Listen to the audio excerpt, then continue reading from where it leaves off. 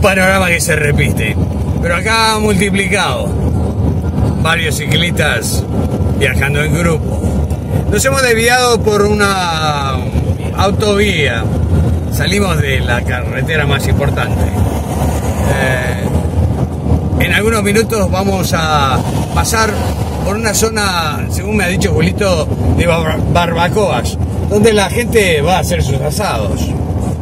Porque aquí no se puede hacer asado en cualquier parte. Aquí para hacer determinadas cosas. Incluso les comento que para hacer una fiesta hay que solicitar permisos, hay que estipular horarios. Y cuando llega el horario está la policía presente, que es la encargada de controlar de que las cosas efectivamente se cumplan de acuerdo a lo pactado. Estamos viajando a una velocidad un poco más lenta de lo permitido. Como ven, aquí podemos viajar a 100, ahora a 80, ahora bajamos a 60 kilómetros. Puentes que nos atraviesan y cada vez más cerca la ciudad de Barcelona. Un ciclista solitario.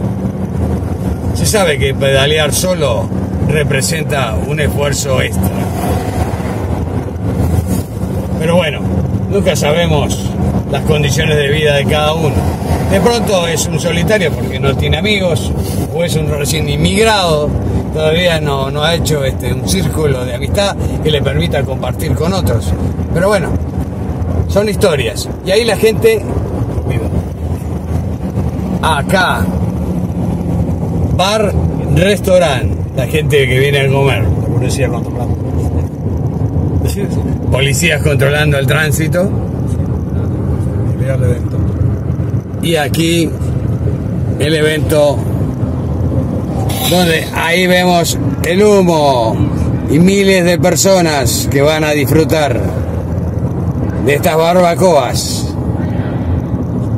¡Wow! Lástima, no le podemos transmitir a través del vídeo el olor asado que se siente por acá. ¡Wow! Miles y miles.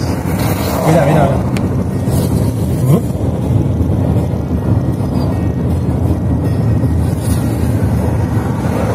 Me parece que aquí se están asando alguna tonelada de carne.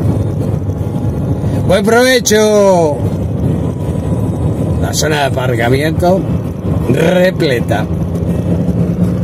Seguimos rumbo a Barcelona.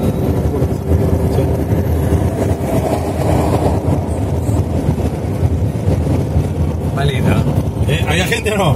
Bueno, vale. Te quería morir. Lo que pasa es que es un alto también del PSOE. Ah. Lo que vi. Era un curso político, ¿viste? Que sabéis que hacer. Pero igual hay gente, ¿eh? Sabía yo lo- Y también hay una parte de gente como nosotros que si queremos venir a comer, comemos. Ajá. El avión para acá se.